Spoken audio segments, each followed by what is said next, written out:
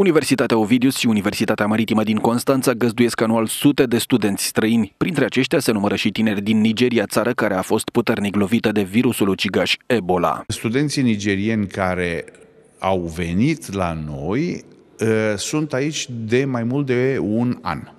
Deci Ebola s-a declanșat cu câteva luni înainte, ei sunt aici de mai mult de un an, n-au plecat în vacanța de vară în uh, Nigeria și deci ei nu sunt un focar de uh, generare a unei uh, infecții cu Ebola. La Universitatea Maritimă din Constanța sunt înscriși în anul universitar curent 170 de studenți nigerieni. Pe lângă faptul că nu au părăsit România în ultimele șase luni, la începutul acestei săptămâni Nigeria a fost scoasă de pe lista țărilor afectate de Ebola potrivit Organizației Mondiale a Sănătății. La Universitatea Ovidius din Constanța nu sunt înscriși studenți care provin din țările cu risc de Ebola. Deocamdată noi nu avem uh, studenți din zonele de risc uh, Ebola, dar, dar în cazul în care vor apărea asemenea uh, situații, domnul rector Sorin Rugină, care este și medic specialist în probleme infecțioase, ne-a transmis că vor fi puse în aplicare toate procedurile specifice pentru ca un asemenea caz să fie izolat. Chiar dacă nu există niciun fel de amenințare în ceea ce privește suspiciunea prezenței virusului ucigaș, conducerea unităților de învățământ are pentru orice eventualitate un plan de măsuri. Viitorii studenți care provin din țările cu risc vor fi supuși unor teste speciale. Vom lua măsurile care